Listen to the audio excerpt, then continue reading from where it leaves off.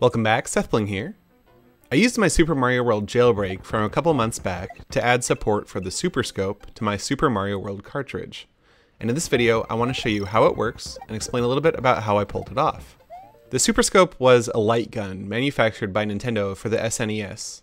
There were a few games that supported it, most notably Super Scope 6 and Yoshi Safari.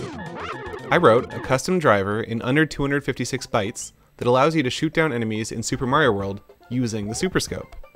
The driver can be loaded using my Super Mario World jailbreak, which means that it works on normal, unmodified Super Mario World cartridges and Super Nintendos. If you haven't already seen the video about that jailbreak, I put a link in the video description. You should check it out. You can shoot at a lot of different things in-game using this Super Scope add-on. Normal enemies, of course, but also things like moving platforms, info boxes, and Yoshi. You can even shoot out the goal tape and make some levels impossible to finish. You can shoot Bowser, though unfortunately that just softlocks the game. Same with shooting Princess Peach after defeating Bowser. There's unlimited ammo, and I've even included support for the Super Scope's rapid fire switch. My driver lets you use the Super Scope's cursor button to see a cursor wherever you're aiming. It also includes a calibration mode using the Super Scope's pause button, which was pretty standard use for that button.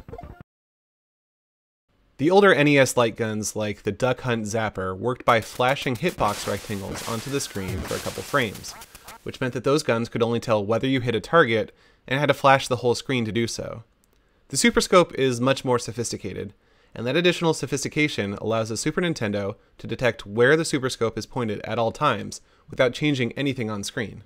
This works based on the specific properties of CRT televisions, which were ubiquitous back in the early 90s.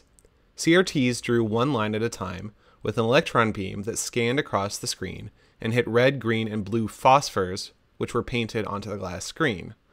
That's where the term scan line comes from.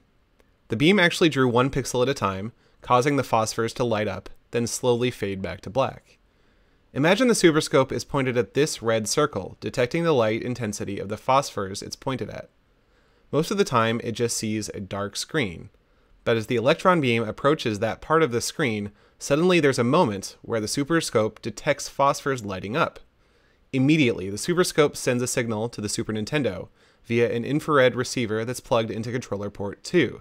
Since the Super Nintendo knows exactly what pixel it's drawing at any given time, it's able to extrapolate and store the exact x and y coordinates of the pixel that the superscope saw light up. These coordinates are then used by my driver code to determine where to create an explosion and which enemies were hit. This was a really cool project for me, partially because it finally gave me an excuse to buy a super scope, but also because I think it's amazing that it's possible to add support for a completely unrelated peripheral like this without modifying any hardware or making a ROM hack. If you happen to have my Super Mario World jailbreak installed on your cartridge, and you also own a Superscope, I've included the hex code for this driver in the video description. I do want to thank P4 Plus 2 for providing some help understanding how to use the game's built-in collision detection code, which was really helpful when trying to keep the code under 256 bytes. That's about it. Thanks for watching.